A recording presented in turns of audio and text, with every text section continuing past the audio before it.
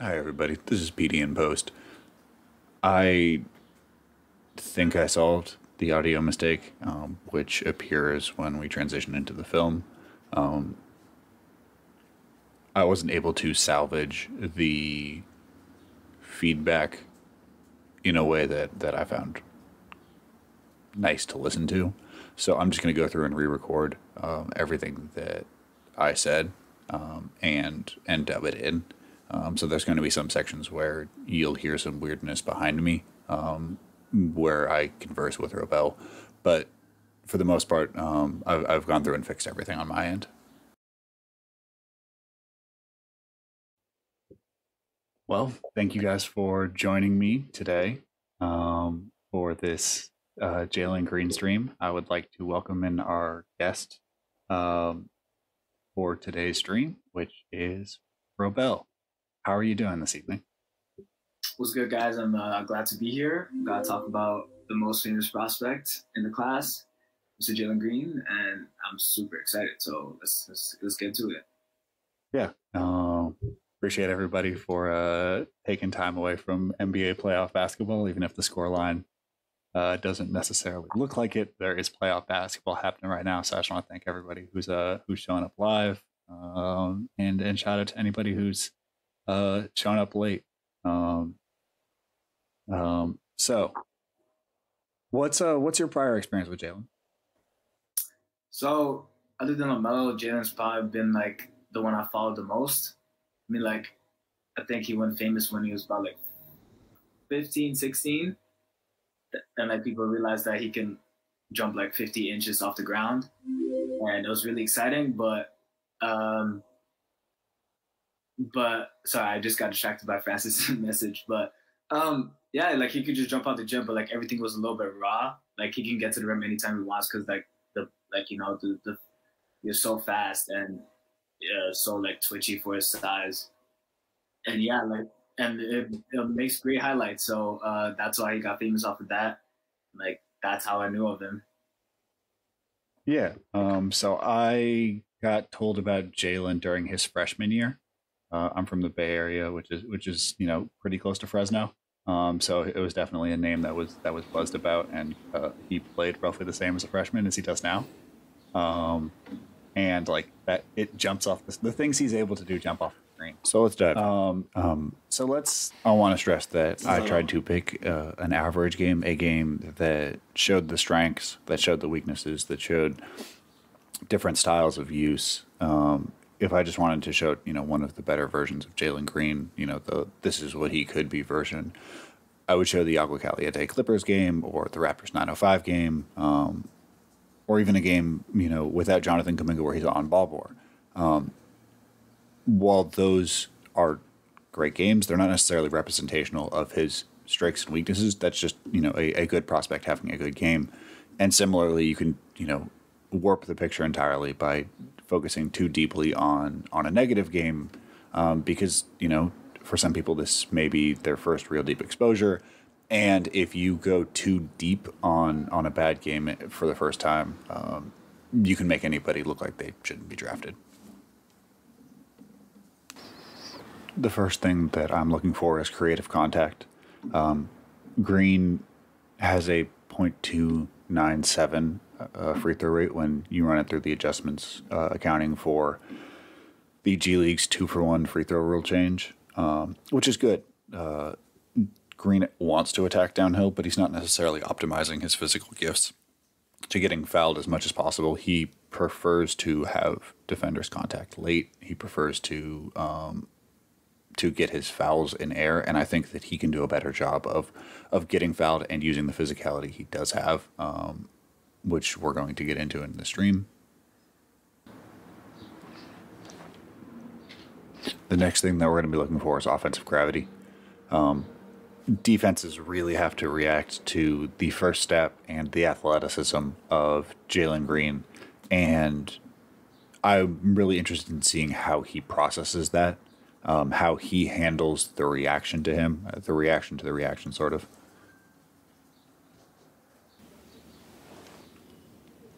Third, we have big space slash small space handle. Green is extremely comfortable attacking in big space. His handle is is predicated on on being outside of his body. His handle is predicated on um, making sure that uh, aggressive players get punished by turning them downhill as quickly as possible. And on the other hand, he struggles when players can stay inside of his frame. He struggles when defenders can crawl up underneath. Um, the corollary to this is core stability. Um, skinny guys struggle with contact. They struggle with uh, center of gravity, and when players uh, get under green center of gravity, when when they can be lower than him at the point of attack, he wants to retreat. He wants to turn small space into big space again, which has some meaningful results, but often um, it is it is an escape plan um, to to reset to try to attack again. Lastly, we have you know recognizing advantage creation. Green is really good at at recognizing blow by opportunities and, and seizing on bad defender footwork. But when it's murkier, when when a defender doesn't clearly have a disadvantage, he can hold the ball. Um, this will occur mostly on movement attempts. So, Robel, what of these sticks out most to you? Probably the last one that you said. Like, there's a lot times where he could just catch and go. Like, since he's so bursty, just off like from a standstill and just moving in general, just like sometimes he just pauses and like he just thinks. Like he like he likes jabbing a lot before he makes a move, mm-hmm. and I think he just feels very comfortable with that. So I think that's why it's the reason why he pauses. But I mean, like it just he passes out catch and shoot opportunities and some like just like uh, taking advantage of the guy coming later towards him. So definitely that one is the biggest for me. Is there a specific element that jumps out to you? Um, in terms of that. In terms of, yeah, in terms of that. Um, not specifically. I, I think it's just something I just uh, it just something. It was just like a small irk for me, like just kind of like a, a, small annoyance. Uh, I know. I, I think that he likes jabbing uh, the opposite way of which he drives. I think that I started uh, picking up on, but I think it's just like um, I think the reason why he does it is maybe because I, f- I feel like since he's like he's grown up to be such an athlete in the ball and he just wants to you know blow by people get to the rim as much as possible um like i feel like he always feels like he's going at a 100 and he's trying to like slow down but like he still hasn't balanced that part yet i mean like that's the hardest part with like trying to change your approach right like especially i've i was thinking about it with shooting too like like slashers or just guys who are inside who like recently developed shooting like they kind of shoot too much because like they have this new skill and they're kind of like comfortable with it. So it's like they just, he has to like balance it out. I feel like he just was always going 100%, and now he's just trying to like kind of go between like let me pause and think about what I have to do and um, actually take the advantage. So.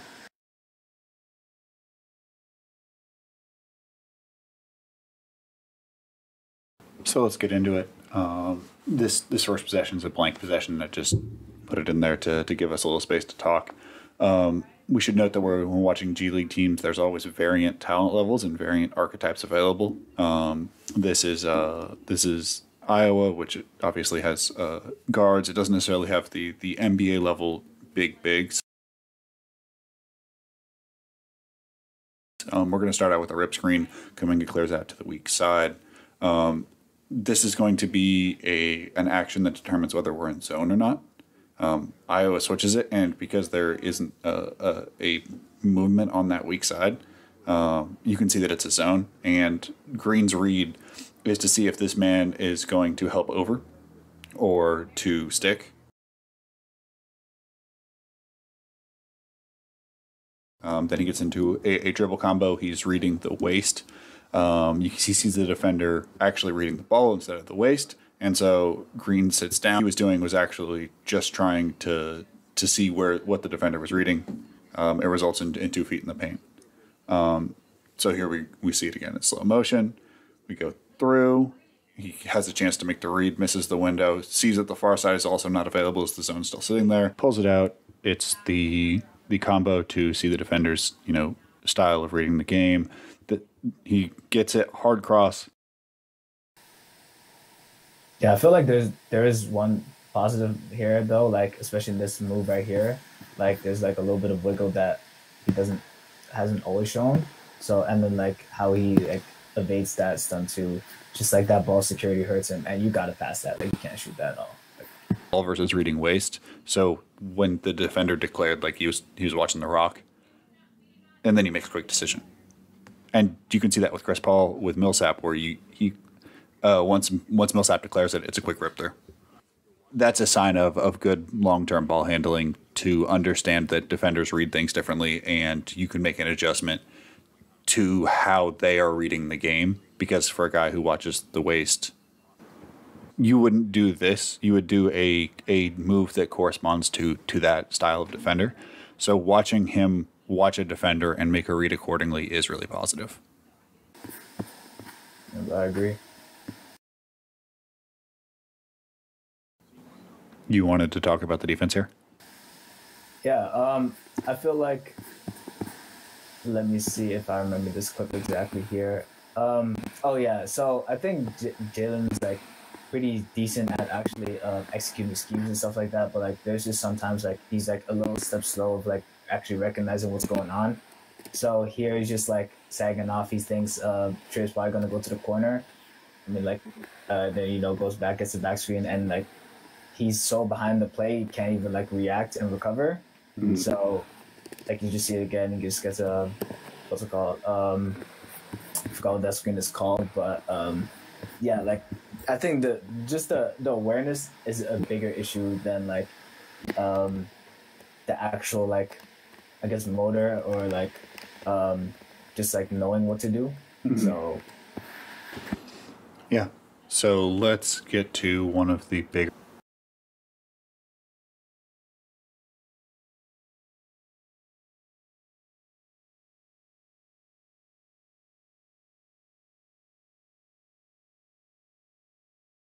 Here we're going to run an uphill DHO. The defender is lagging behind about a half step, so you can see that that top foot is uh, is, is still giving middle, and that there's no defender there, and that the big isn't dropped. So on this catch, as he's seeing that middle, it's open. Were he to attack in this moment, he would have had advantage, but he waits a second, allowing the defense to resume shape, you know, to get into a, a compact, help, you know, equidistant sort of space. And he has to balance taking risks with um, with making the right play. And I think here he he let advantage go and lost the balance between making the right play and, and being appropriately aggressive. Yeah, exactly. It's that balance thing. I think I was just ta- telling you about, like, uh, just I think he was just trying to, like you said, just make the right play, trying to see what's out there, but just gotta go sometimes. Like, the space is there, just go. So I think it's important to keep a close eye on on closeouts on a possession by possession basis, because like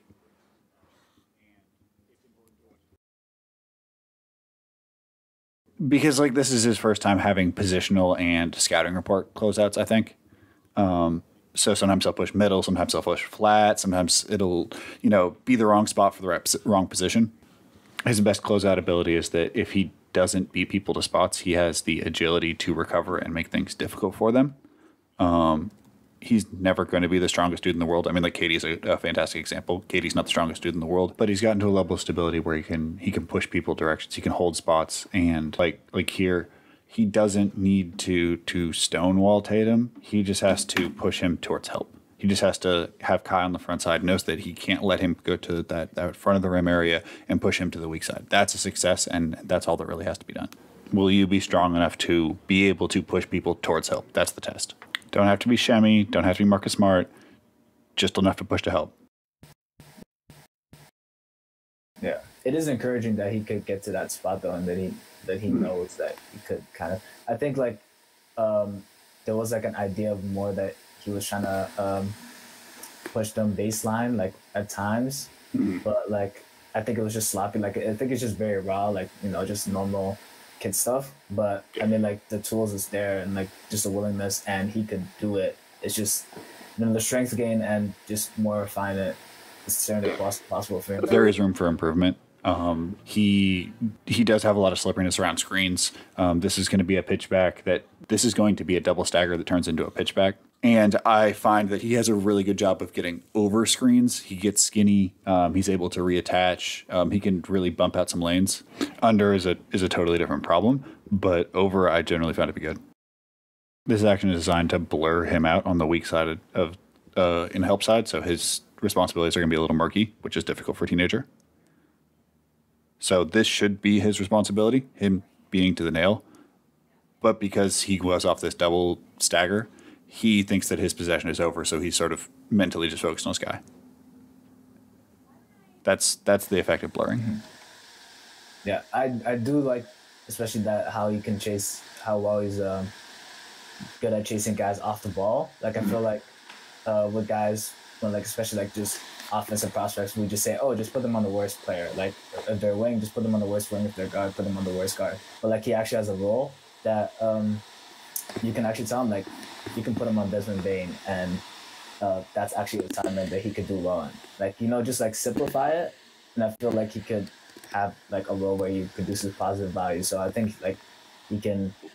That's like the difference between him and like, like I guess like, um, negative like potential negative defenders. So we here we have the catch and hold. He's guarded by Briscoe with his hands down. If he attacks the Briscoe's top foot, closest defender to stopping him from getting a dunk is standing directly under the rim. But he catches it outside of his body, so he has to bring the ball in before making a decision. If he catches it on balance, then there would be almost no problems either a shot decision or a, a decision to attack. And that time that it takes to regather is what allows the defense to reform. And by the time that Briscoe uh, is able to get on balance, Green is ready to go. Um, Briscoe's hands still aren't up, and the shot goes up. I think it's two things happening here. The first is that like he's wasting that advantage, and the second thing is that like these catch and holds are really difficult to shoot out of. And while he makes this one, I do think at times process makes his numbers look worse than the actual level of shooter and level of shooting improvement that he's done from when I've seen him when he was younger. I think this is the worst of three choices. So he could have attacked immediately, you know, seizing on that advantage. He could have shot immediately, seizing on that advantage. Instead, he kind of played it safer. Um, and I think that that safeness is sparked by the unreadiness of the catch. If he had caught on balance, things would have been okay. Like we we're gonna see we see Kispert here, and like that's that's what catching on balance is. Is not necessarily the shooting that I'm looking to. It's just are you ready to shoot when you catch the ball every single time? Bringing the ball down before shooting speaks to the catching and holding damaging his percentages because this is a shot made so much harder by his process here.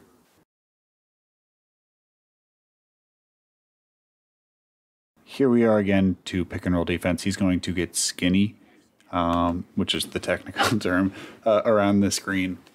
And G League ignites in a, in a drop coverage here, trying to prevent middle at all cost. And Green is able to stretch this play out, making it more difficult for there to be any kind of penetration, more difficult to to get anything going. And this is both the system that Green is most comfortable, where he gets his best results in terms of steals, um, but it's also the one where he's most effective from a team perspective because he can create a little bit of havoc with with that uh, defensive acceleration. And when we look at this, we see a player that could be even better in time as he adds strength to his frame um, and can reattach at, at, multiple different angles. The uh, the gold standard here is Jrue Holiday, who's not the biggest, the strongest, nor the fastest guy uh, in the in the guard stock in the NBA. He knows his angles, he knows his timing, he knows everything that like an offense is going to try to do by, by sitting in places where they're uncomfortable and, and using his strength and his agility um, as needed. Um, it allows him to, to really surprise ball handlers. Jrue's a testament that like you don't have to have a 50 inch vertical. You don't need to be uh, the wildest athlete. You don't need to you know bench press 215 uh, 30 times. It's just a matter of knowing where to be, when to be, and how to react when you're there. Here we're in semi transition. Uh, Nix passes to the wing. And it's a skip cross court. We can see that this time Green is catching, ready to shoot. His feet underneath him, eyes up, selling that that he really will shoot. Um, the the closeout is hard, and it results in to get good closeouts in the NBA. Green is going to need to be able to sell his willingness to shoot um, because teams do not want to end up on SportsCenter. If you close out hard, this sort of thing happens where you get a, a fantastic athlete downhill in space, um, which is is a good way to have your big man hate you if you're a wing. Um, And if you're a big, it's it's not the ideal circumstance. You can really see the scoring gravity. You can see how much effort um, teams have to put in to keep him away from the rim. And and in the air, it really reminds me of Jamal Murray. Um, his ability to, to contort himself, his, his ability to to find finishes um, in air. The biggest difference being that Jamal has the shooting to keep defenses honest, and Green's going to have to add passing like this lob.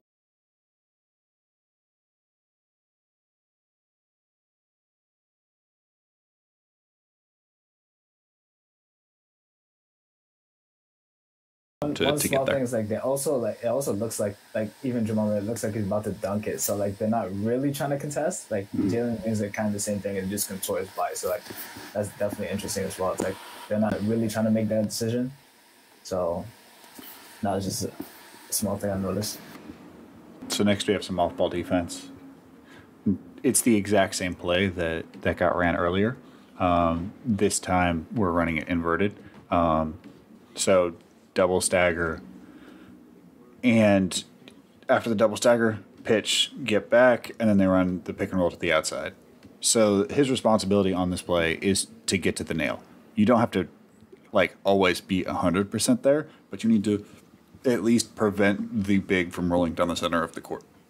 And so his responsibility right now is for the slot defender and the uh, the tag, or at least the, the you know the the discouragement of the tag, because there's a point guard low, and you don't want point guards to contend with lobs. It's just not good business.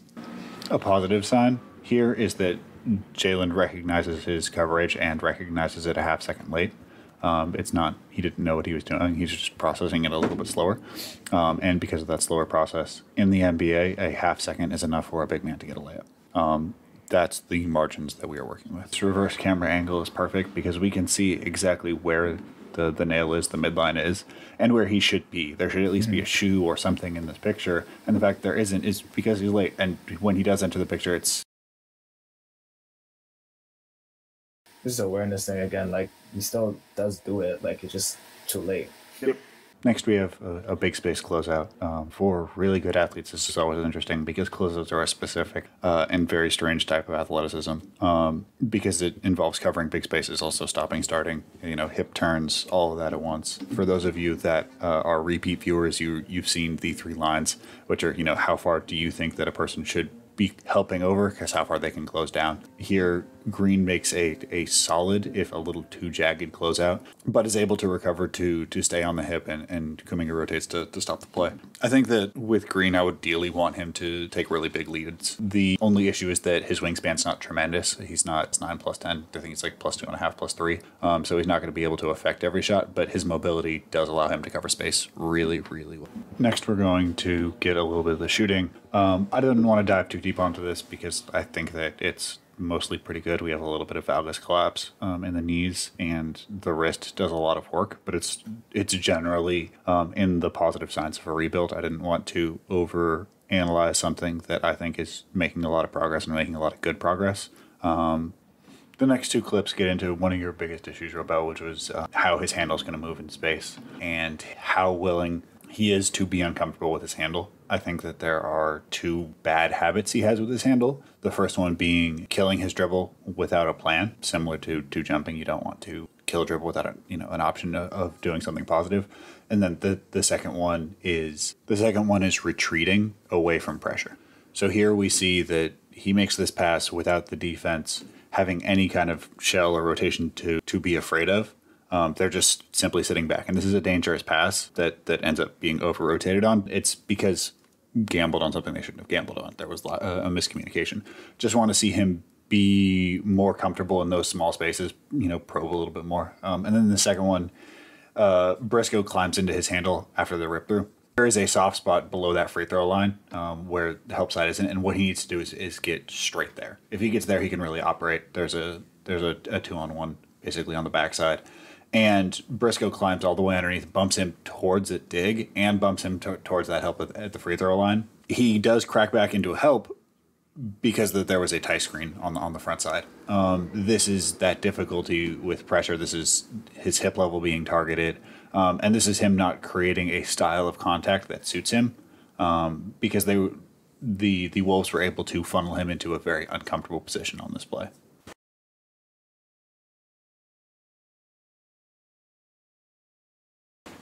Looking at an exemplar of, of creative contact uh, is Kennedy um, using both her offhand um, when dribbling and her hip level to make her defender uncomfortable. Um, a thing that happens in professional levels is that when defenders know they'll foul, their hands will fall away. So she's really good at, at using her arm to brush uh, defenders away, losing having them lose a little bit of balance, then bumping into them below their hip level to tip them over. Um, this causes you know a, a, smaller player to be able to have finishing windows, and it's it's a micro scale that can get lost um, until you go back and be like, how is how are they getting all these buckets in this particular way?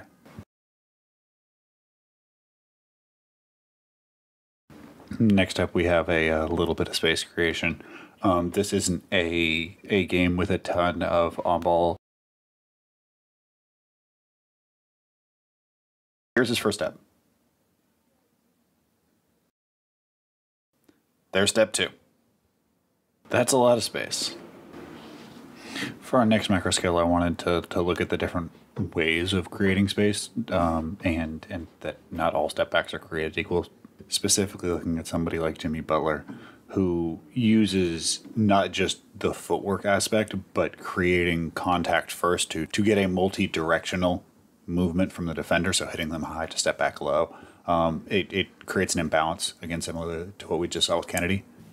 Why I say all step backs aren't created equal is that you don't necessarily need to cover a huge amount of space if you're creating forces in other ways and, and making difficult situations for defenders using strength, um, using deceptiveness. There are multiple ways to create within a step back, and I just wanted to emphasize how much Jalen is depending on his actual steps and and uh, the the forces he generates pushing downhill and stepping back accordingly versus you know Jimmy who needs to step back like seven inches or something like this. It's not impossible or anything to, to live just based on big strides. It's just harder to have counters. Uh, more if you bump, if you uh, have another um, layer added onto it, it's easier to set up secondary moves, and it's also uh, easier to use different moves for different styles of defenders. Something that Jalen is certainly going to experience at the next level.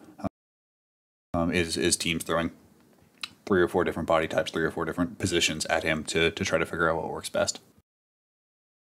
As Alize will testify, the way that Jalen Green's handle works is is as well suited to his physical gifts as any you know two guard that we've seen in a long time.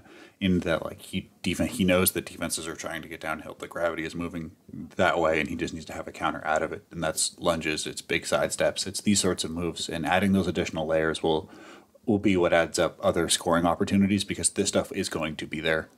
It's just a matter of how much gets added on top, how much uh, off arm craft, how much how much handle development happens, how many other circumstances he can read out of this. Um, it, and that comes from the core stability. That comes from adding strength. It comes from from adding counters in time. Fun fact: We take a small break uh, to to get a charger and I tinker with the audio settings, somehow making them worse. I swear this is the last time. I think I have it figured out. When thinking about average games, we generally think about offense. Um, I probably undersold how good of a defensive game this is for Green, especially for his tools. We're going to see a series of recoveries on this play that I think are pretty special. So it starts with uh, a a missed rotation. He gets it a second late, but no danger happens. We get a closeout that is shaded towards middle. You generally don't want to shade middle. That's the danger spot on a court. And the offensive, the, the ball handler immediately sees it and is going to attack the bottom foot because there's good money in the middle. Green is able to recover, beat him to the spot, and force a change of direction, recovering to neutral advantage. So he goes from being behind to now being even again. Um, and this is difficult. Uh, not just that, Green then pushes back to the weak hand, so where I would say he, he should have been pushing initially, towards help. And is able to funnel the defender all the way into help and, and hold his position. Tries to spin and ends up being a turnover. This is this is the benefits of of Jalen Green is being able to make mistakes and recover from them really quickly because of because of his quickness. Um, that he does have at times, you know, very young technique, but at other times when he does put the technique into action, when he does the uh, what the scheme is asking, it's extremely effective.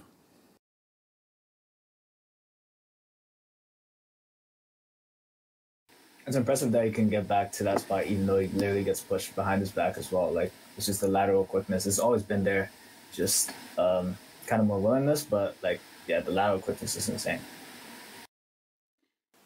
Controversial opinion: Nobody standing between Jalen Green and the rim is bad, and usually ends bad. Well, for somebody. The only rotation that is going to happen is from this baseline. The the top side can help, but it's just not going to work. So Jalen Green is going chest to chest with uh, the center coming from the weak side.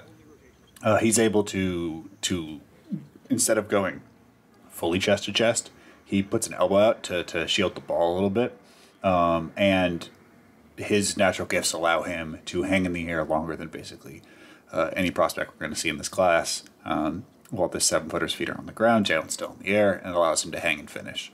Um, this is uh, extremely impressive, especially so considering that he's really skinny. Um, Green often goes uh, into defenders, but he doesn't necessarily go through defenders. Um, it's it's common for him to to hang and finish, um, but he's not a guy who's going to knock defenders back unless he has a full head of steam and they're standing straight up and down. While the strength level presents some problems attacking the rim, the flexibility shown here and uh, the hand-eye coordination to do something like this is extremely impressive. Our final clip of the first half is is isolation at half court. Um, the most important thing is that Trier is standing straight up and down, and when we look at the uh, defense's layout, there's nobody on the strong side of the floor. The strong side is, is wherever the ball is. So we have both bigs on the or both help side defenders on the weak side of the floor, and the on ball defender standing straight up and giving a free path to the rim if he pushes on the right side. Green's vertical pop and hang time are spectacular and get uh, a lot of meaningful attention. But the first step is elite. He gets to the paint in 2.1 seconds after about three strides. And look at the gravity that the entire defense has. You have four people with a foot in the paint because they're worried about Jalen Green going to the rim. One defender helps up, and so uh, he's reading both weak side defenders. Does does the big step up? Does stick with the corner? Is there a dump off available? And here we see a little more of the flexibility. This brings us back to our concept about creative contact, um, and also to to Jamal Murray. Um, I find Green to be a okay foul approach guy, but he's not hunting hip levels and he's not hunting arms and movement styles in the way that like Jamal Murray does. Um, Jamal's not meaningfully stronger than Dwight Howard, you know, in I would say most categories, if not all. But what Jamal is doing is he's finding the moment of weakness where he can target Dwight Howard into a foul, and that you know using his shoulder, using his elbow, using his hips, he's he's finding circumstances where Dwight can't manipulate to recover, and that's the difference. Where it's like it's sometimes it feels like Green is jumping and then in air making decisions where Jamal Murray is getting fouled before he leaves the floor and that is a, a, really important distinction, and that is a, a well a way of gathering fouls that is very re- repeatable. That we are seeing between Jalen and guys like Murray um, is that they're thinking contact first and then angle, and he's the inverse, like the the gold standard, the the absolute goat. If this is Kyrie, who is able to just through obscene body manipulation get shoulder to shoulder with anybody get the contact he wants, then find the finishing angle afterwards because he understands that there are limitations on what bigs can do with verticality. And so he's trying to get them to enforce verticality so that they think they're done, and then he manipulates out afterwards. So here we are with the free camera angle for whatever reason was super tight on the free throws. So of the I think five or six free throws that he took, um, there weren't any replays, and this was the only one that had his full release in there. So I cut in an extra one afterwards. Um, it's a little bit uh, from his opposite hip. Um, you can see the, the valgus collapse. The thing that I find really encouraging is that he shoots from the index finger. It's a really strong follow through. Um, there's a, a good uh, there's a good motion from from his gather point to his release point. Overall, I think that the free throw percentage is, seems stable. Out of a loop play here, um, we're going to get some some chase pick and roll, um, and the read that we're looking at is two on one on the weak side. 44 has two responsibilities, both under the basket and on the weak side with Kuminga. And Green has to read that. He picks up his dribble, but you can see that his eyes are still up, and when the defense botches the, the reattachment after the rotation, he's able to drop it off. that this is a result of of good process after the pickup and bad pro- bad process to get to the pickup. So he did well once the pickup happened, but that that particular position was a bad spot to pick it up. So like, but you did mention that he did have like he did have struggles like picking up the ball up too early. So like, do you think that was an example where he just he did that as well? Because I thought so. Oh yeah, most definitely. Um, I would have preferred that he not pick the ball up because I think that read would have been there on a live dribble. Like killing the dribble didn't cause that rotation. That rotation was going to happen once the advantage ended, but there's positives with the patience, but not necessarily with the process. So I think that it reveals that there is um, an advantage seeking in how he is thinking. He just is trying to balance that with his uh, threat reduction in how he thinks about his handle. So I think that he thinks his handle is more rudimentary than we do, and that he's simply just trying to, to pull back and keep it safe. But we're at least seeing the playmaking sensibilities, the wheels turning in his head, and that as the handle develops, that stuff will be able to come out more.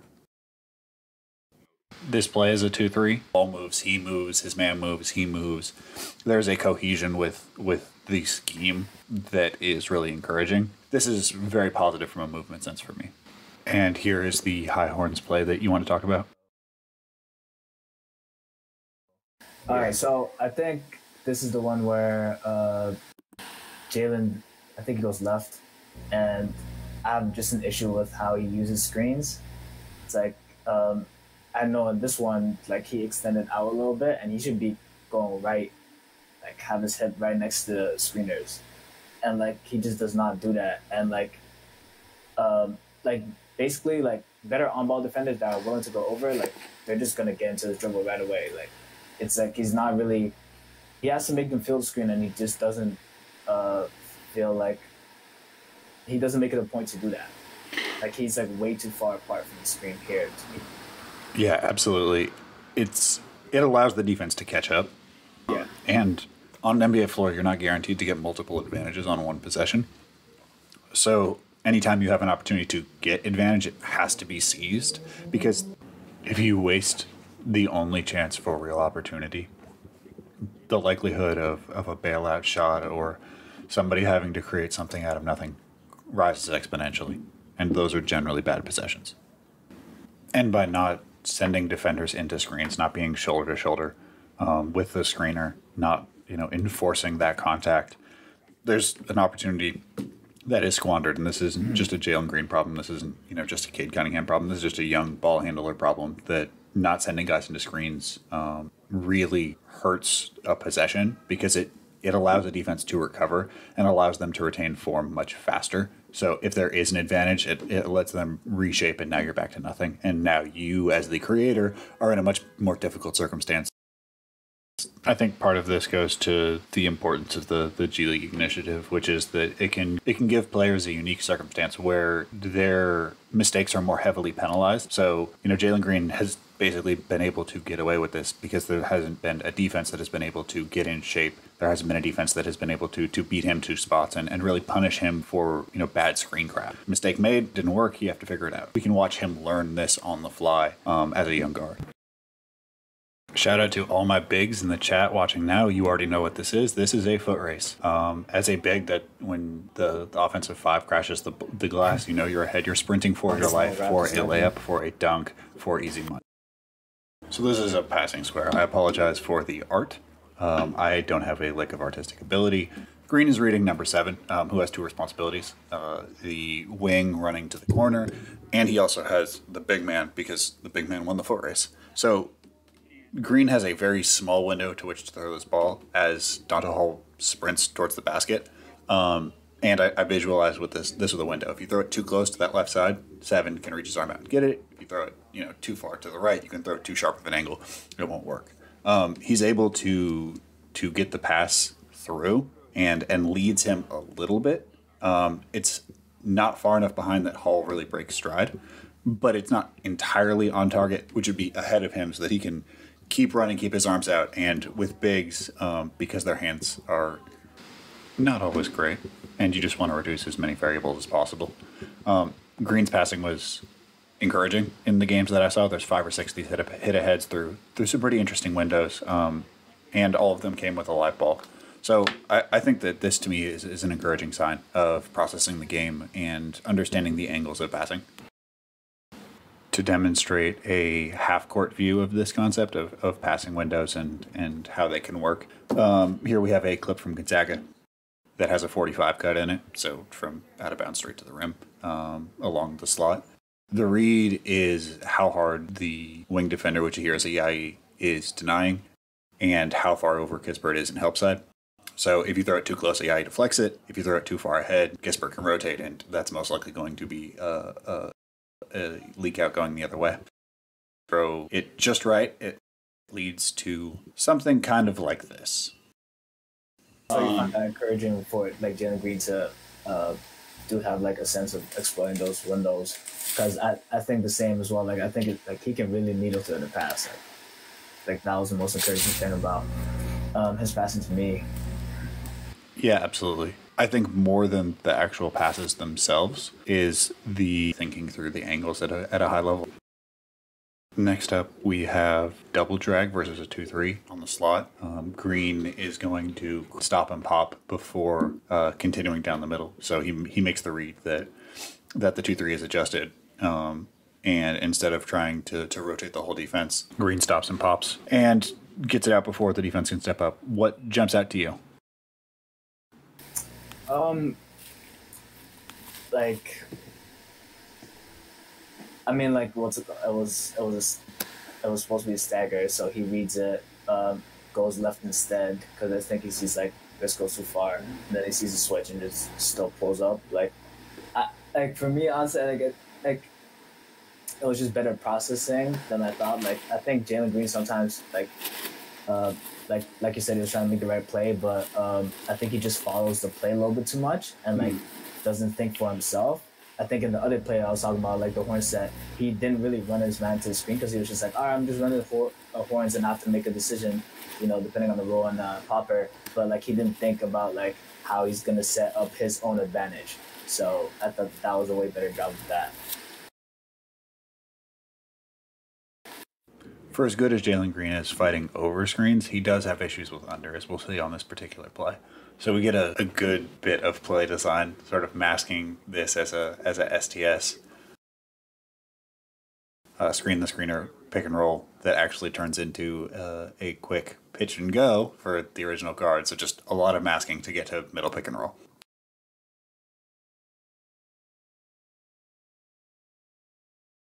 And Green goes under both of these interactions. And on the second one, you can see how much space he gives and how difficult it is for him to close it down. Um, the footwork and, and the presence that was there on on getting skinny isn't there reconnecting when going under. I think this is partially just due to him never having to do it um, in high school um, and, and AAU. A lot going on here. Um, we start with with a high DHO that turns back into a pick and roll to the left. Green retreats like we see him uh, most comfortable, and he sees that the defender has it a high top foot and that the center is being cleared out. So he's going to hit the accelerator as hard as possible, attacking top foot, knowing that the side is going to be the center is going to be cleared out. He gets downhill and goes a version of chest to chest, leading with elbows straight to the face, which is uh, ideal for, for skinny guys, shielding the ball back a little bit so it's, it's immune to being knocked away and pushing through. Again, here he recognizes that the defender can't hold this spot vertically and it has to lean, has to jet backwards, and by attacking the defender's space gets a foul call. Tactically, there's a little bit more going on with this play. It's uh, it's a DHO, but Green takes it all the way out, and that way when they run the pick and roll, it's an easy switch switch back. So instead of being you know, a, a quick turn, the defense has time to communicate with it and to take good angles. The angles are in fact the angles are in fact so good that when Green attacks to his left, the defender, which is his original defender at the start of the play, is able to, to stop him flat and he has to retreat. Accelerator, again, different sort of athlete, and gets downhill. So there's goods and bads within this one. Um, And this is a mixed bag, partially due to his catch position, partially due to his want to, to pull things back. And I think that as he gets out of those habits, things will get a lot cleaner.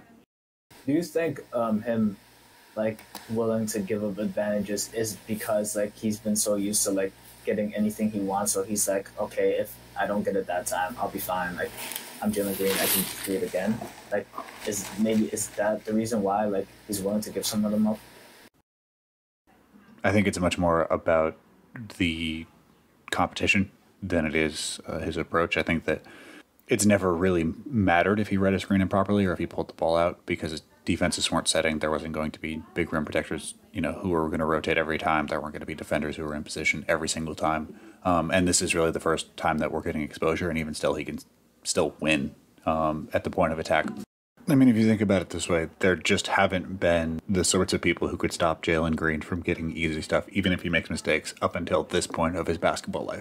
And why the G League is so valuable for him specifically is that he is faced with a learning environment where he can feel out some of those things um, on a possession by possession basis for the first time. Um, it's just really hard to get those types of, of dudes on a court in, in a uh, EYBL or, or high school setting. And so this is the environment for him to to experiment and see like, okay, so if I read the screen wrong, like I, I straight up can't get to the rim unless somebody makes a mistake down. And I think that's what makes this a constructive learning environment for a player with tools like this. Next is a shooting question that I get a lot, which is, you know, what do you do when a player's knees collapse inward? It's called valgus collapse. Um, it happens when uh, players' hips are too tight and they have a struggle generating power. It basically means they don't access their posterior chain. It's fixable. I mean, there are guys who shoot in the league with this. I mean, KD is a an example that we like talked a little bit about earlier. Really good general same body type. The long term solution is uh, strength training and flexibility training for the appropriate muscles. Another recovery. Um, it starts with a, an uphill DHO and Green gets caught a little bit. He gambles on the steal, doesn't get it, and he's behind the play now. But he fights all the way back, and now we are even. Gets a, a slight bump, and then gets stepped through. Um, the the Wolves player misses the shot, but it's a it's a good battle. Um, for all intents and purposes, he should be out of this play um, when when he's on all fours Instead, he battles back, and the foot issue rears its head again. Mm-hmm. He is now pushing the ball handler middle, which is a no no. Look how much help he has to the right side. Another bump. I feel like he's good for one good stability effort, but if it's if it's a sustained stability, he's going to present some issues. Um, I would say overall, it's a very good play. Our next play is uh, a combination middle pick and roll and then I believe it's supposed to be a Nick screen, um, or, or, a step up screen, depending on on what terminology you use. Uh, Donta Hall gets the timing wrong, I think, um, and the player we're reading is highlighted. That is, uh, is Zylan Cheatham. If he steps middle, then the the pick and roll on the Nick side should go off without a hitch. So after the ball swings to green, what we're left with is two defenders on the high side um, one middle defender on on the low weak side block and the screen coming up. Um, his impulse is to take it middle, which is where the teeth of the defense is. Um, I wish that he had jabbed the other way and then used the screen.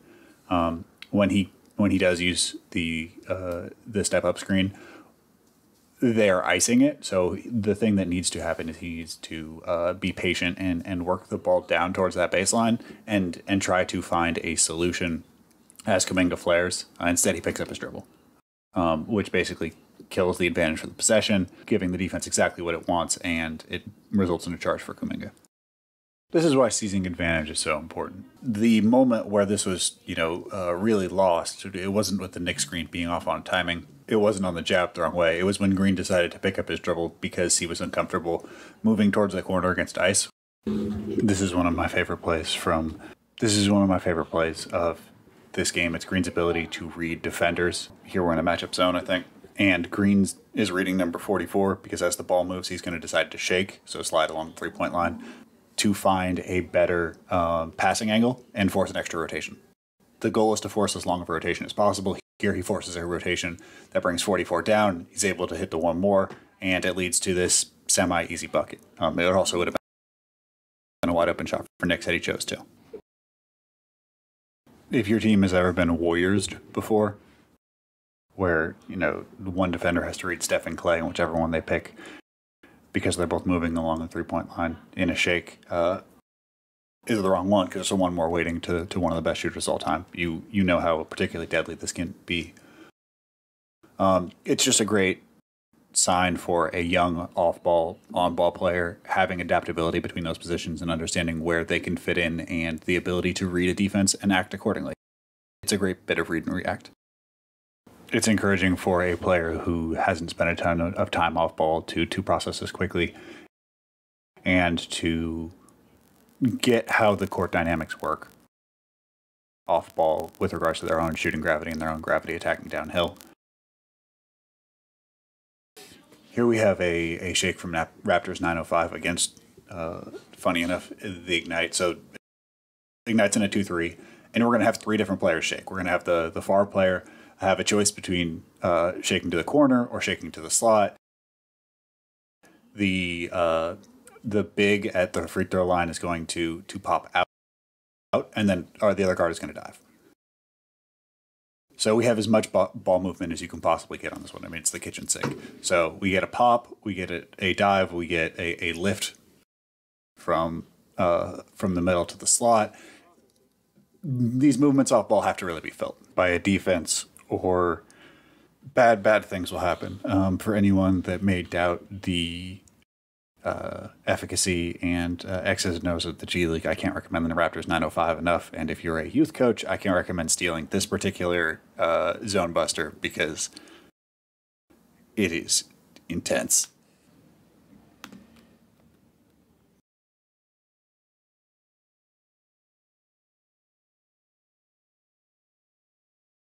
All right, we're entering the end of the game.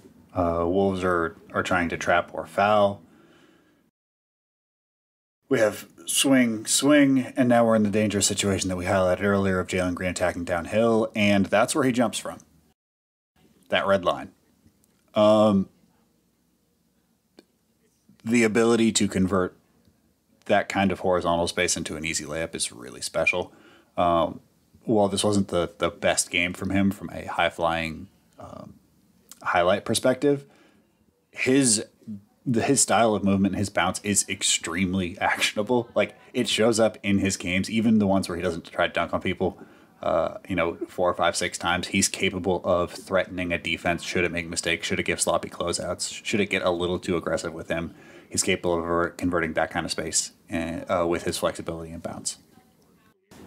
If you are looking for games where he is getting downhill all the time, um, I think the Cleveland Cavaliers G League affiliate uh, whose name I'm I'm blanking on, is the one. I think that's also the game where he goes like fully diagonal on a on a double clutch layup, and, and you see the flexibility really consistently in that one.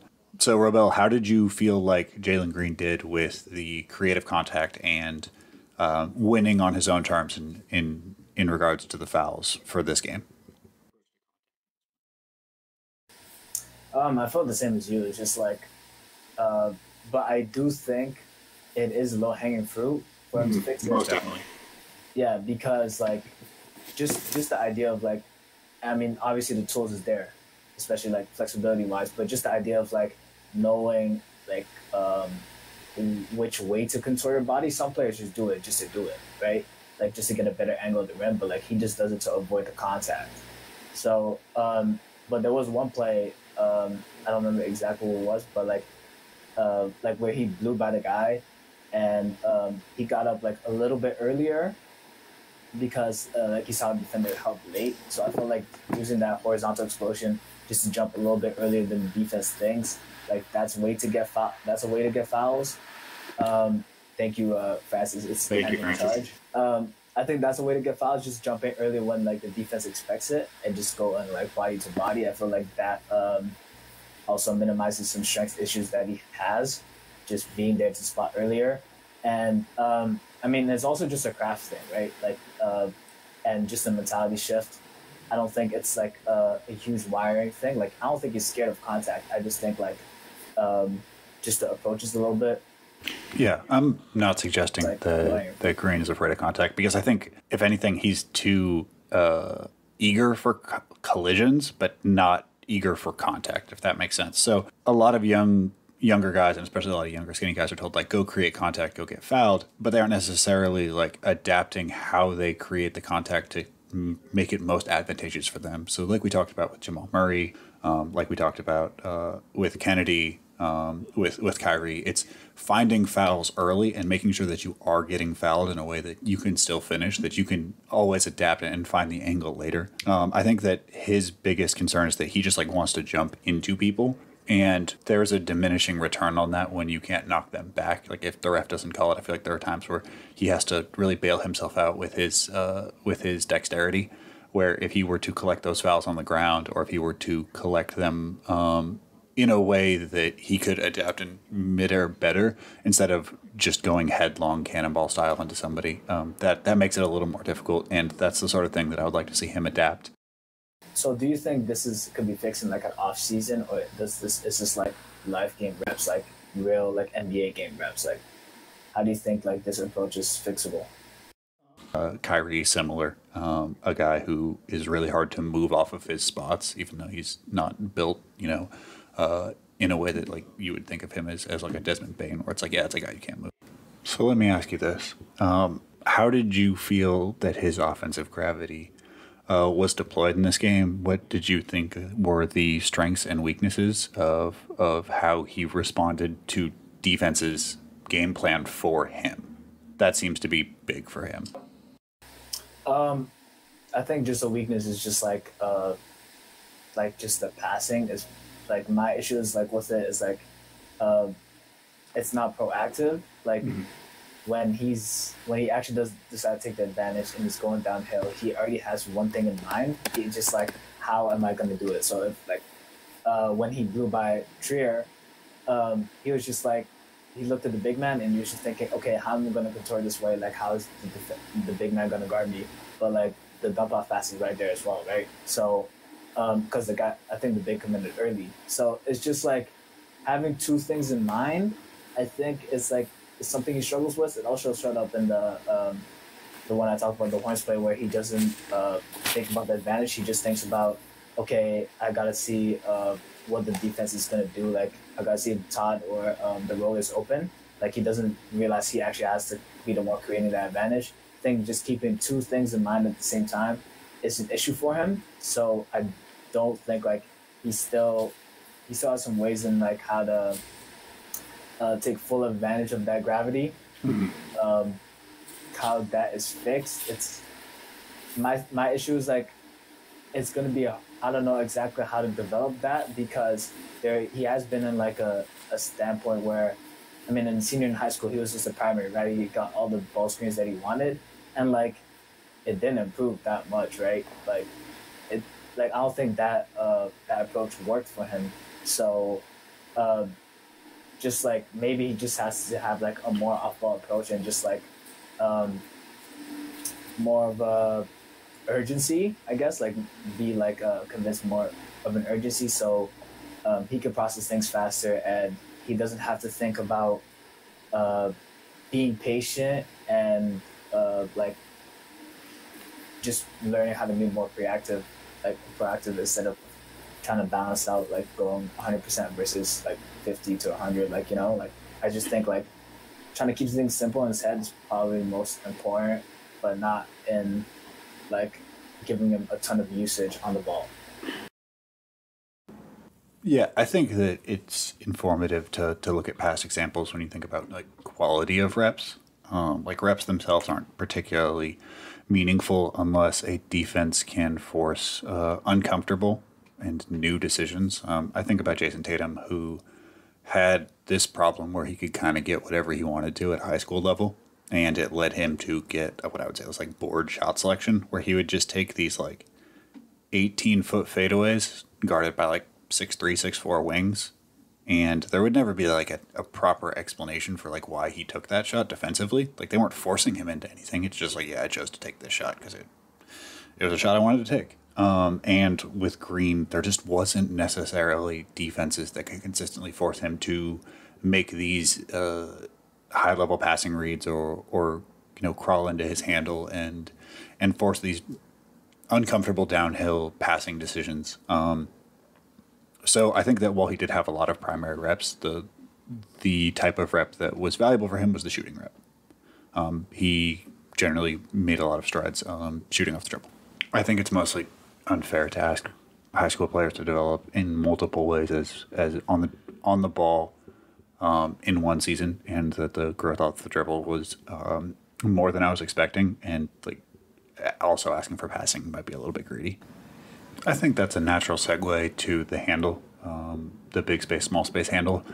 Iowa's guards were built specifically to stop him. Basically, they're they're bigger, stronger guards that can climb underneath his handle, um, messing with his, his higher hip level, um, and also Green's predilection for picking up his dribble. Um, do you feel the same way?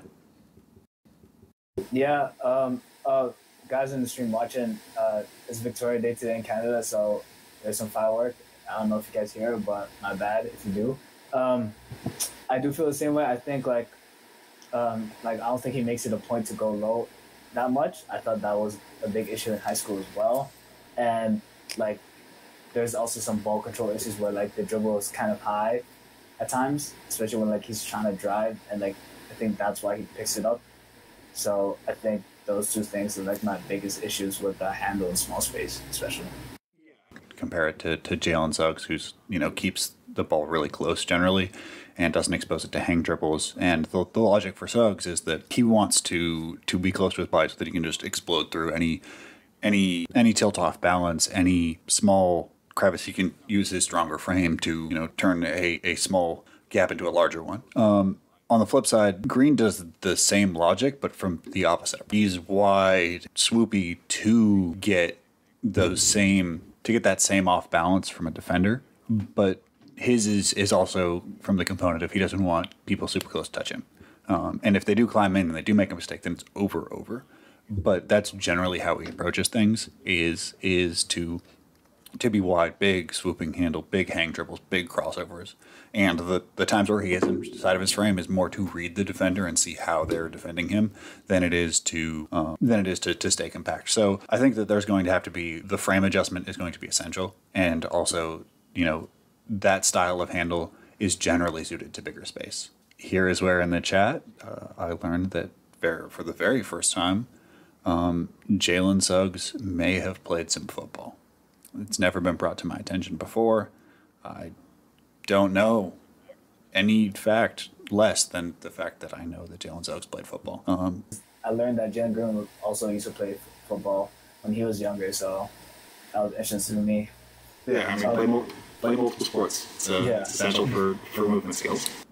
The core stability and the core stability and the seizing on advantage are sort of the same thing to me because I think that they're uh, as related as anything could be. Um, I think a major difference between somebody like Jalen Green and and Anthony Edwards was that like Ant was capable of covering up uh, feel yeah. mistakes by just being stronger than than people at a college level, and also Ant played at a college level, and uh, and Jalen Green played against pros. Um, so whatever physical um, slightness he had is, is exacerbated by playing against pros versus playing even in the SEC. Um, and I think that that ability to cover up your mistakes with physicality um, allows for like taking more gambles. Um, and we're with Jalen because he doesn't have that. I think that at times he can become hesitant, and I would just like to see him make more mistakes uh, and, and more mistakes of, uh, of aggression uh, with his handle. Um, I do think like this. I don't think it really showed up here at all. But in other games, I do think there was like some flashes of him using the offhand. So like when they would like when he'll beat a guy and they'll try to get like you know um, bother his dribble. Like I think he has uh, show flashes of keeping them at bay, which was interesting to me. So I think like um, it's intriguing because I mean not intriguing. It's um, I guess I would say less worrisome because it is in his head that he is trying to fix it, and I think that is using the offhand is a great way to, you know, like mask some uh, ball control issues. So I just wanted to point that out. Yeah. Um, so let's flip over over to Q and A. We're still picking up uh, Robel. So no further audio engineering concerns. Uh, do I need to make? I don't think I need to make any change changes if we change the screens. Um, we'll start with uh, Um, we'll start with the question from Drew, which is uh, um, why does it feel like Green gets walled off defensively? What improvements does he have to make in terms of wiggles line finishing? Um, this is literally the same audio settings I had. Why does this keep happening? I hate this so much. um, this is Uh, literally like I I did not change anything from. Uh, I will quintuple check and, and see how things look. But uh, so um, the question is, uh, why does it feel like Green gets walled off defensively? What improvements does he have to make in terms of finishing? Um, um, Okay, never mind. I thought you wanted. I thought you were waiting for me to answer that one. yeah, yeah, go Um, ahead. I mean, I like. I think the wiggle's average, but I think it is there. Like, uh, I think in just big spaces, you just don't want to guard him. Um, he doesn't need doesn't need that many moves, honestly, to just get by when there's like when he does have like uh when there's like open space around him. It's just like uh like tight spaces, and when guys are really like close to him, is then where he kind of gets nervous. I think that's a good word for it, like uh, or cautious and that's where like like you said the risk taking isn't really there so he I, like i don't really think he gets forced to pick it up all the time i think it's just him being a little bit too willing to pick it up and that's why it looks like he gets stonewalled Yeah, I I think that um I think that it's it's a core issue mostly. Um uh he doesn't have like a because because if people can stick with him, he has struggles with um he has struggles with physicality. Um when people can stick with him and like struggle when guys don't struggle to keep up with his first step, um it can look like he's getting like boxed in pretty bad. Um, I think that's just like the guys who can give him trouble really give him trouble. I think more than like anybody in the class, there is a type of guy who gives him trouble. Um, and he will, in terms of finishing, it's it's more about his approach, um, about collecting uh, fouls early versus fouls late. Um, I don't think there's like I think his wiggle is fine. He is very shifty when he wants to be. He sells his move very hard. Um, it's a matter of getting to the point where like the other stuff where like when he is just dribbling when he is trying to get in spots making sure those things are never uh crowded or never um you know claim territory that's the thing that that i would like to see most handle um i'm pretty fine with it generally um our next question is yep, thank you thank you anyone for supporting the patreon. Um every every one of these we get closer to me figuring out audio issues. Every one of these we get closer to uh you know uh me uh being able to give you guys the the stream you guys deserve. Um uh thank you to anybody who does support that. It really has changed uh my life. Um what are your thoughts on jared butler and Raiquan Gray? Uh i have both my top 35 want to take this one real quick yeah uh there is fireworks in the background so it's not that bad. one it's it's Uh, it's it's not okay, that bad okay.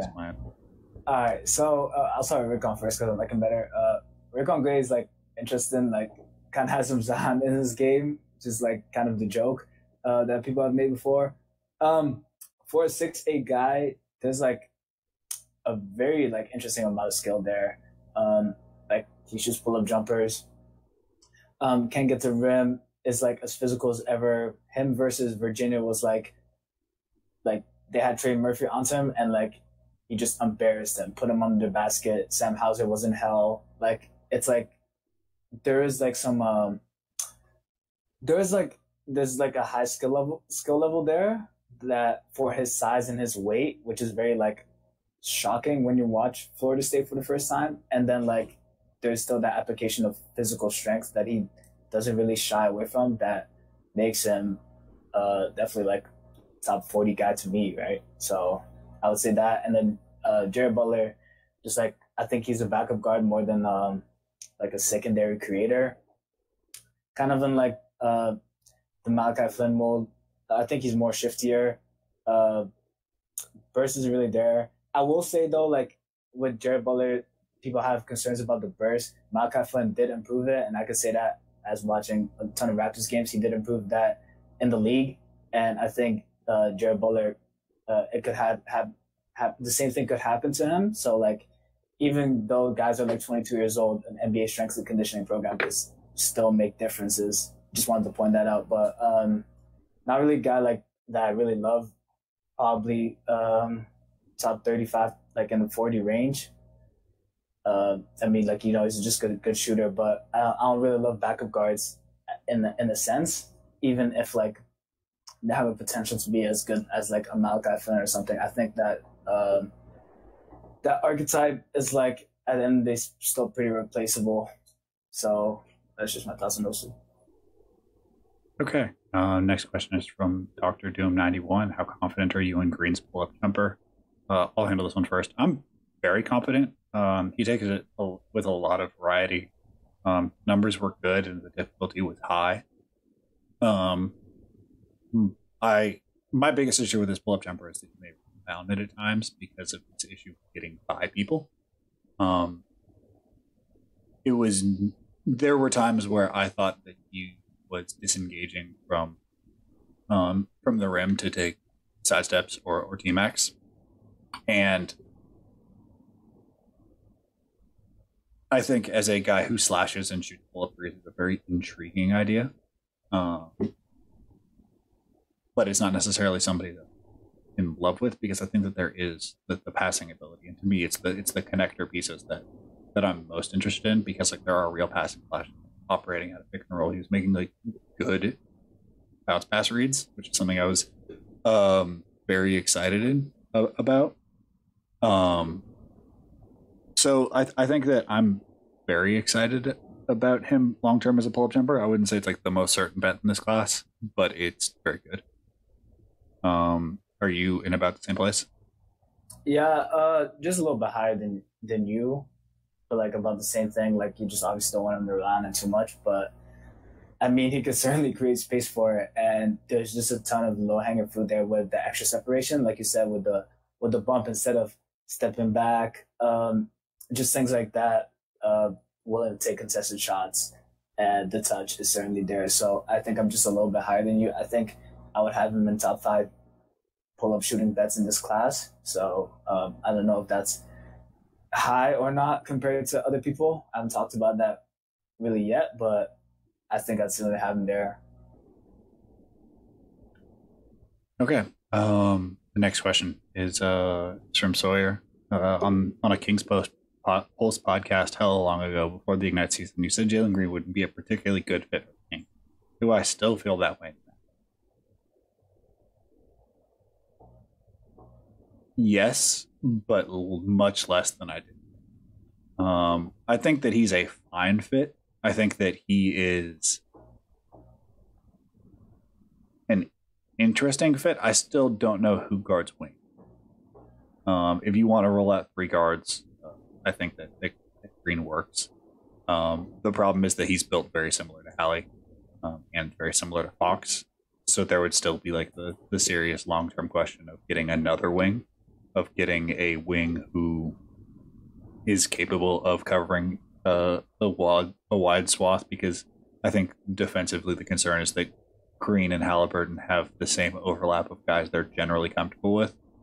Um, and you'd be asking Fox to either put on weight for to like guard wings. And uh, for my conception of this team, I would say that getting a wing defender is a higher priority than getting another scorer for this moment. But if you were to tell me that they had a lot of faith in getting a, a, a wing defender in free agency, or that they were simply trying to wait another year for the next class of wing defenders, um, yeah, that that's roughly. Does that, does that sound fine for you, Robel? Yeah, uh, I don't want to speak too much about the Kings because I barely watched them. So, uh, but it does. I mean, like it does scare me defensively, like, especially because De'Aaron Fox is not like like he has a certainly potential to be like a point of attack guy, and maybe you know like if he if like he theoretically put on weight, like guard maybe up, but it hasn't showed up yet. So yeah, uh, check your DM real quick, by the way. Um, can you name a couple differences between Jalen's skill level and Gerald and Gerald Green's early in his career? Um, Yeah, Gerald couldn't dribble like this. Uh, Gerald didn't have the the passing level. Um, I think Gerald was was always sort of the version of player that he ended up being at his best. Um, but I just think that we're talking about two different types of guys. Um, in terms of what they can do. I mean, in in the piece that uh, will be dropping tomorrow, um, I talk about the difference between uh, Jalen's skill level and J.R. Smith's skill level, and I describe it as like uh, Jalen Green's like basketball ability is suited to like what his actual basketball skills are, much better than a lot of like hyper athletes were, because like his handle works in a specific way that complements his skills. Where like J.R. was a guy who like liked to take tough shots, and he was also capable of doing these bays off vert. Um, and like that's just not how the overlap between what Jalen can do and how his game is developed work. Uh, okay, the next question is from uh, Max Love. Uh, I have heard a lot of people use Killer Instinct as the reason to take Green slash Suggs over Mobley 2. Uh, my question is how much do you value, value Killer Instinct or lack of it when evaluating a prospect? Um, do you want to start with this one? what does that mean, Killer Instinct? That's what. That's my yeah. That's first thing. Um, I mean, like, like, like, what does that mean? Like, how do, how do you know how these kids are wired? Like, like 19 years old. Like, come on now, like you know, like I, I mean, there are guys, there are guys. Like i've talked about this quite a bit. There are dudes who are like legitimately wired um, to be uh, basketball obsessives. Uh, like you know, Zach LaVine, uh, famously a dude who like have to keep out of gyms. Kawhi Leonard had to, you know, yeah. be begged to not work out more than three times a day during the off season. Um, but who had but, like the people that say that sorry uh the people that say that don't have that type of intel like they, they wouldn't know that so yeah we don't like i mean i don't like i don't know about you but the people that say that and i feel like it's just like that killer instinct thing is just very reductive and like evaluating prospects you know like they're just not really evaluating talent they're just saying these cliches that's what i mostly hate about it yeah so like i can talk about a guy that um like the intel or my assumptions proved wrong, which was Emmanuel Mudiay, who was a mentality elite guy, a guy who, you know, supposedly lived in the gym, who handled failure really well. And like, I think that was the class where like sometimes it's not killer instinct, it's just vibes. like sometimes it's like, yeah, this dude seems like a nut job or seems like losing really affects him. And then you have guys who like don't necessarily have those like they don't seem like hyper competitors or like nut jobs but they are like Klay Thompson is like that. Klay Thompson really, really, really, really, really does not like losing at basketball. Yeah. But like you'd never look at him and be like, that's a killer. You might say that way when he, you know, drops 50 without dribbling. But like it's just the vibes are not how you would use it or we would use another term. So like I would just be hesitant to whenever you use, you know, terms to recognize that there are loopholes within them. Um, and recognize that like sometimes we have uh like styles of how you play basketball or styles of how we carry how players carry themselves and that leads to biases um, mm-hmm. you know how many times have you been like you know in the early 2000s there was a duke player with a terrible haircut um, i mean kyle singler was this way you're like there's no way this dude is giving you and then like up and down the acc you just drag mm-hmm. um, so you just have to be like understand your biases understand like sometimes what you're um, what you're saying has nothing like sometimes the, it, it is vibes, and as long as you can recognize vibes, um, um, you you will start to evaluate better. Um, because without real intel, that's kind of. Um, Ray asks thoughts on Onyeka slash Jaxson Hayes as Holmes' replacement. What would you offer for them? Um, man, I, I don't know if if Atlanta is ready to give up on Onyeka. Um, but like Jaxson Hayes in, in Sacramento really scares me. Like, like I, I like it, but I also think it might be like a 2K move where like I like it, but the real world full forces that would need to be in place to make Jaxson Hayes work in Sacramento might be there. So like, I think for like Twitter slash 2K purposes, absolutely love it. Real world, um, some question. Uh, a person that me and you have never talked before, not say, said, "How do you feel about uh, Jalen Green and the Magic?" Keeping in mind he'll have to get uh, a lot of muscle. We'll have to get a lot of muscle of the muscle and have a rather heavy creation burden from the jump. Do you think that would reinforce his bad habits? So, Jalen Green to the Magic, and how do you feel about that development? Uh, Cole Anthony and Jalen Green making decisions is a little bit uh, scary, and I think uh, like the same thing with the Kings. It's like RJ Hampton would have to guard the threes, and he would have to really fill out. And like I don't really love uh, RJ Hampton's frame. Um, like I don't know. It just does. It doesn't really like. I, I would prefer Suggs there, but uh, I mean, like it just depends where you're at. Like obviously, like at one point, you just best way available is best way available. But I mean, it's still like I do think like latter when you said like the bad uh, decision will be enforced.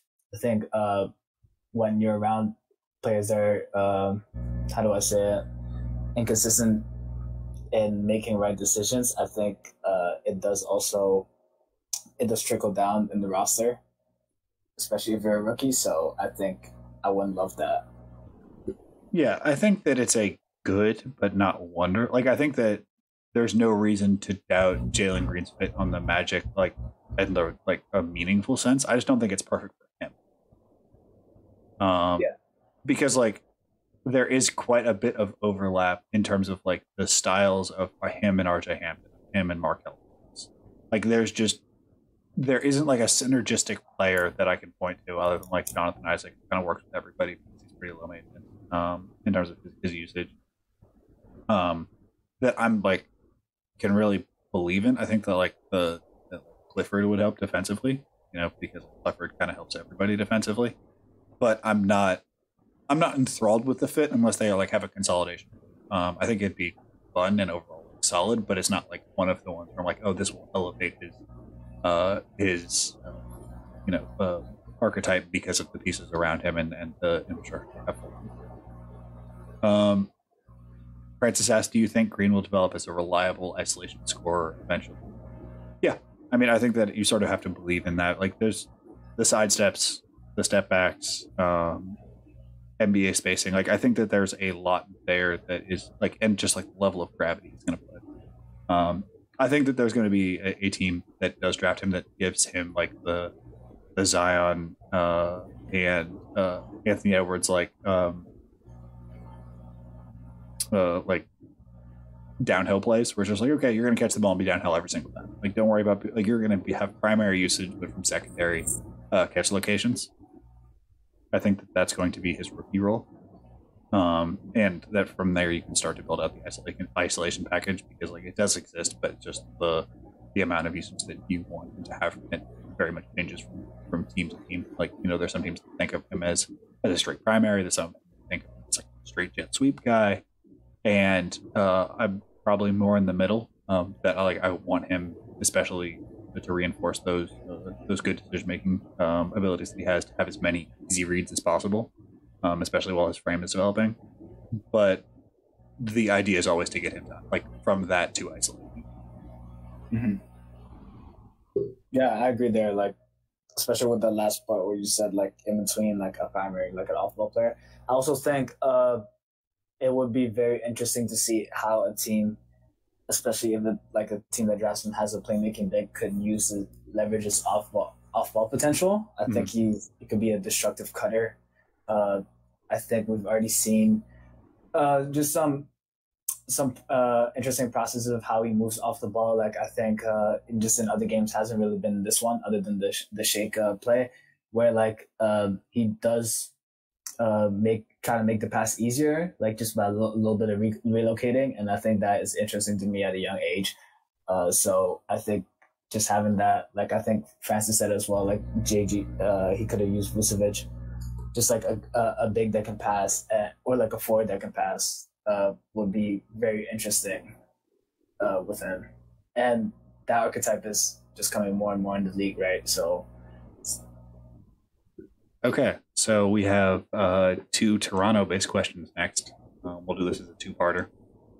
Um, the first one is if the Raptors get three, do you prefer Green or Suggs? And the second part is thoughts on Green in Toronto. Uh, I, I prefer Green.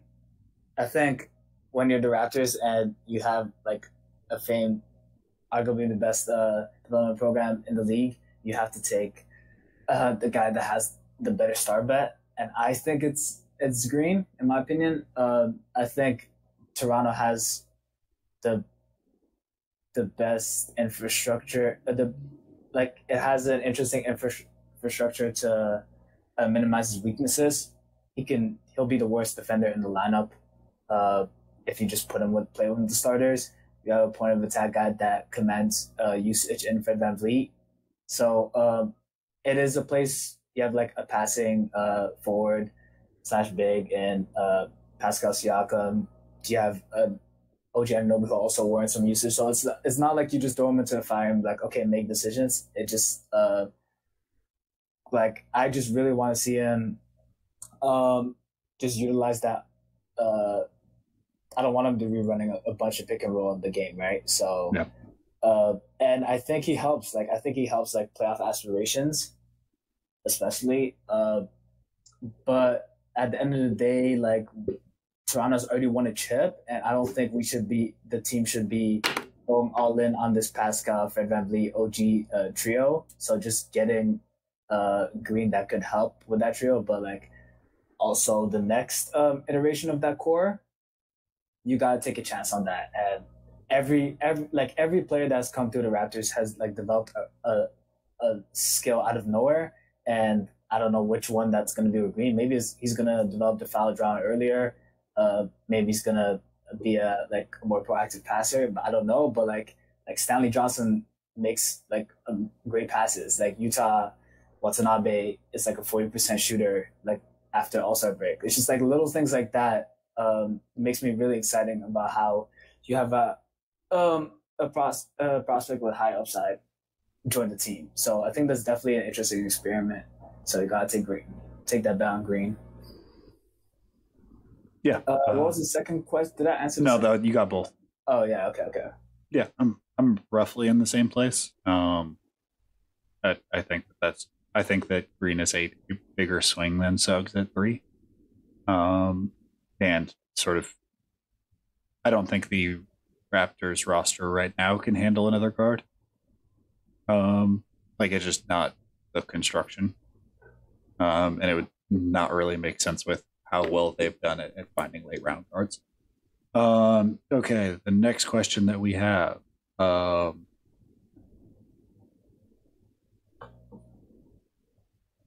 uh, is Jrue Holiday a good player comp for Springer? Not really. I mean, I've used uh, uh, guard size OG Anunoby repeatedly. Um, fun. Um, Jrue Holiday is also like one of the best high school players I've ever seen. He legitimately pinned a dude's handles to the ground in high school. Terrifying. Um, uh, Drew notes that um, he'd be surprised if, if Green doesn't go number two. I've heard like from the, the teams and the people that I've talked to, you get a pretty good mixture of of Green, Mobley, and like the occasional Cade at number two. Um, I don't hear that much Green at one, but I hear some like Mobley at one, um, depending on on the group of people that you have. Um, like there are some team construction.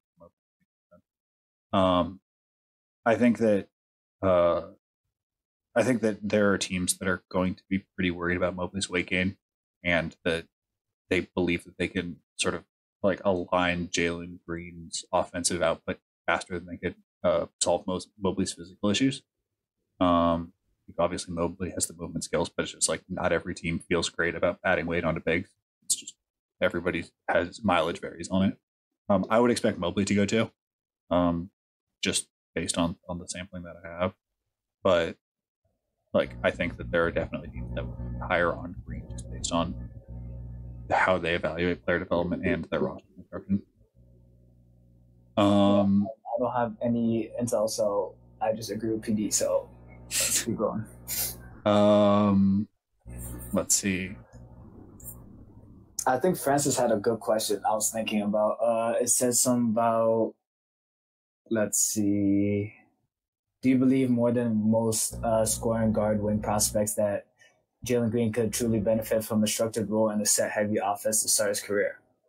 Um, yeah, I mean, this is the the uh, the jet sweep idea that just you you put people in the Chris Finch, Anthony Edwards role, the second half of the year Zion role, uh, and you just simplify reads. Um, understanding that like they're going to create a, a bunch of gravity, and you say like, look, there are six sets of, or there are six shoes in this paint. Like you, this is your read time. That's your read time, and and you build out from there. Like the idea being like you take a corner of the world, pick at it, study, you know, grow outward from there. Um, I think so. It also like that's the way that his handle. Um, I think that there are guys like Cam Reddish that you sort of want to apply this to, but like Cam Reddish's game doesn't necessarily flow to downhill attack. Um, and so I think that just based on on the like Tron bike nature of his handle and his explosiveness, um, and I think that it would be easier to build out the foul drawing if they have a consistent set of um like if if, it, if the rotations are coming from generally the same places, it makes more sense. I mean, the like Ignite gave had a had a very specific set of these plays, and I thought that they like built onto them well as the season went on. You know, very wide big or emptying out weak side for for a cut, um, uh, for the for a give and go lob. Um, so yeah, I mean, to me, that just based on the way that his handle works, that's a that's a hundred percent um, and that it would minimize his exposure to uh, a, a, certain type of defender that gets him trouble.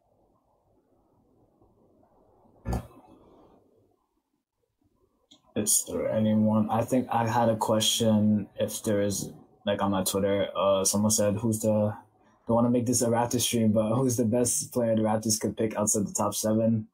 I'd say, uh, I'd say Springer. I mean, yeah. Springer might go like 29th at this point, apparently, but um, yeah, it got to be Springer. Like, uh, I don't know if Josh Giddey falls there, but I think I think, Giddey, I think Giddey will will go like number ten. Okay, so if Giddey was there, like let's say like Giddey goes eight or something like that, and we have the eighth pick, and he's still available, I I probably pick Giddey over uh, Springer. I think I think you had you had disagree with that, but just want to say my opinion. Um, just the reason is like I don't want uh I think Pascal is a good primary, but I I just don't like his like I think he's he's developed as a good reactive passer, but uh, he's he's more like uh, a gravity and then make a decision. He's not a guy that uh, could exploit passing windows. And Fred VanVleet is also going to be the high usage point guard, and uh, I think his playmaking struggles are well documented if you're a Raptors fan. So I think I'd be much more interested in a Josh Giddey who also could be uh like if he doesn't turn into like uh, a star, I think he'd still be more interested in a interesting as a um how do I say it like a connecting piece. Yeah. At his size, whereas like Springer, um, like he's gonna be like a second side creator, but it's it's not gonna be um it's not gonna fix the the Fred VanVleet and Pascal like uh creating for others issue. You know what I mean? Like like like you said, like it's like guard size Anunoby, but Anunoby's like he doesn't fix those issues really either. He just he just learned to get it by himself, right? So I think that's why I'd probably prefer um Giddey over Springer, but I mean like I'd still be happy with both. Yeah, I, I lean Springer and uh just uh, the overlap of having a small wing that can do those things that that'd be valuable. Um, mm-hmm. That's uh, that's been my general stance. Um, Sawyer asked, "Do you guys have any clue how six through fifteen is going to play out the, the draft?" These mocks are absurd. So I think the thing that happens um, before the lottery is that like intel is less firm. So like this guy played well. Okay, so we bump him up, but it's not really based on team need. It's just like we hit spin on tankathon, and like if you do it 10 times, like maybe that order sparks different results. Like until things get firm, you're going to get wild results and wild mock drafts just because need is not firm. And once need firms, then there's more legitimate feedback. Like, okay, everybody in the top five needs guards and nobody from six to 15 does.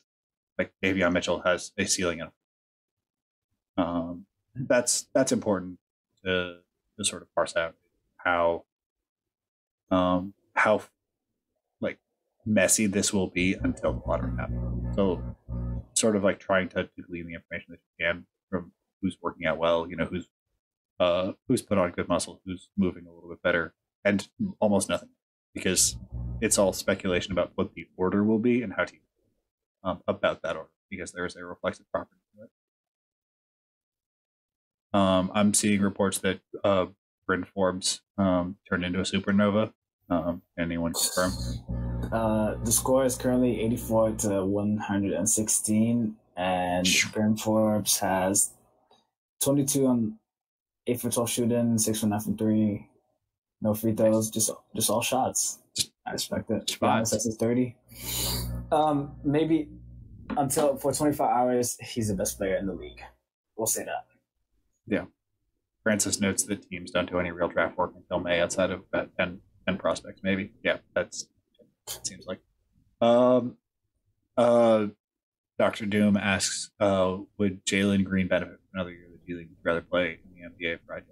Oh, he needs to play. In the NBA. Yeah. um, uh, multiple years of the G League is for a specific type of guy um, who has a specific, uh, like, you need to lower the punishment ceiling for their mistakes. Like a guy like Poku early, like, he couldn't get to the cup and get fouled, so they lowered the competition threshold, lowered like what it would take to get to the rim by putting him in the G League until he figured it out. Until he figured out what worked at, at this new competition level. Built up. Like Green's Green can compete at an NBA level. His issues aren't don't require a lowering of or the expectation for. Um, it's just a matter of, of, of reps and building a system that minimizes the downside while forcing it into positive decision making uh, feedback loops. Uh, let's go a couple more questions in and get out of here. Um, Bobby Portis 2 0. Interesting. Um, yeah. Um,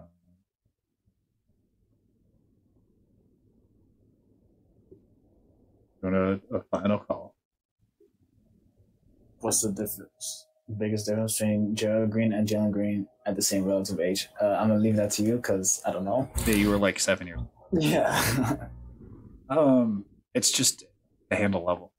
Like it, the handle level is, is really different. And uh, Gerald Green wasn't like an optimized player. I mean, I don't think that he was a primary at that age, like for real. Um, you know, in the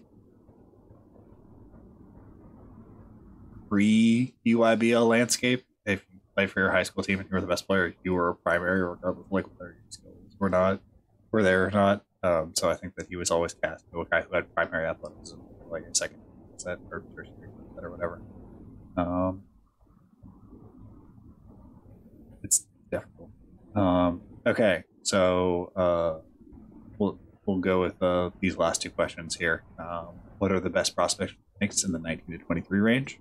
I'll let you let you pick that one out first. uh, Sharife Cooper is number one, just to get someone else uh, to get to the rim. And uh, Randle has quietly like not been like a super like amazing driver to the basket. And I just want like a point guard that can get to the rim for them, get easy looks for everyone else. I think that is very important. And whether the shooting gets fixed or not, like I agree with you, PD. It's like I think it's it's not like impossible, and I think it's just so like I think it's so messed up that it's not like just a like a, a smaller tweak will do uh, wonders. Uh, but like yeah, the rim pressure and just like the passing is just amazing at the size, and you gotta take that that bet, especially at like nineteen twenty three, of course. Yep, same answer. You get the best point guard on the board. Um, can't have another year of Elfrid Payton with real minutes if you're going to be a playoff team. Yeah. Um, who do you think is going to benefit slash suffer most once measurements come? Oh, that's a good one. Oh, that's that's one got T. Shout out T. Um, honestly, I have to think about that one. Um, I mean, you I'm could just do you could just do names that come to mind. It doesn't have to be like the, the best and the worst. Just like names you think will will struggle, names you think won't. And you can do a little free association back and forth. Hmm. Um, I will say like, uh, Giddey will have some, uh, like he's going to have both up and down because he's going to measure tall, but also with short arms.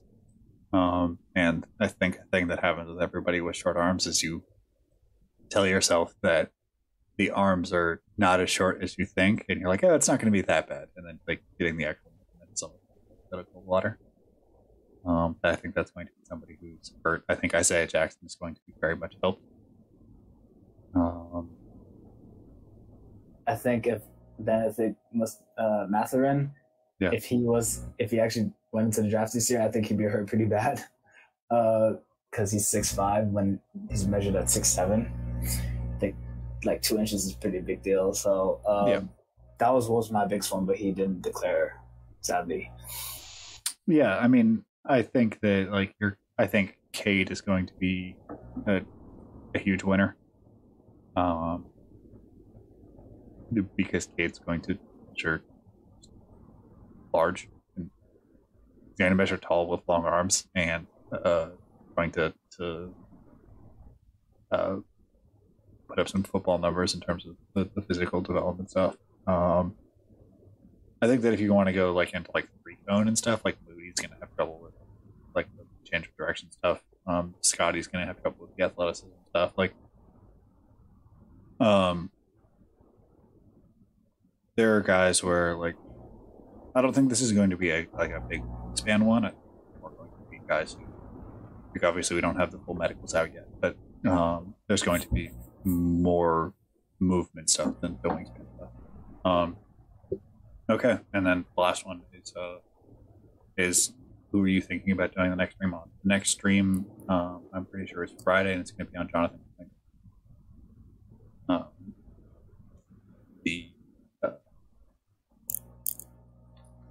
controversial form. Let's go with that. Yeah. The hope from Congo.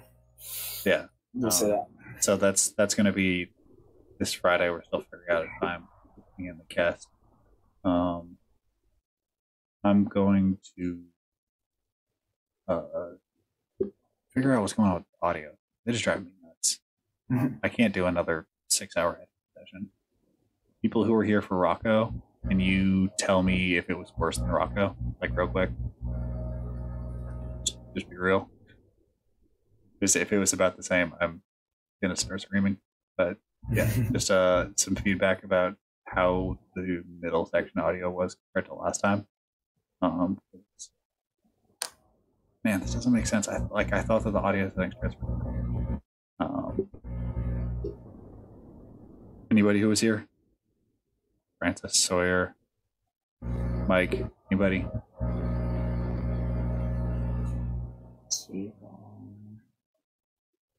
Okay, while we wait for chat to uh to uh go back and forth on that, Robel, do you have anything you want to plug before we get out of here? Uh, yeah. Uh, Free Palestine. Uh, subscribe to PD's YouTube channel.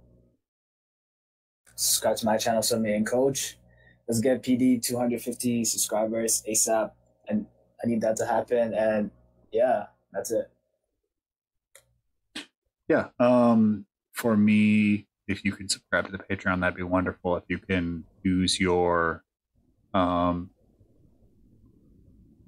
uh, if you can use your uh, Amazon Prime sub to subscribe, that'd be wonderful. Um, if you could subscribe like on YouTube, that'd be wonderful. Um, I will have the piece for this out tomorrow morning. Uh, it ran a little bit long, and, and I wanted some extra time into this one. Um, appreciate that. Thank you so much. Um, yeah, I'm just trying to uh, to try to make this as good as possible for you guys because I think that it is a, a good educational tool. Um, I want to thank everybody who stuck around till the end. Uh, thank you so much. Um, appreciate y'all. Have a uh, have a great night.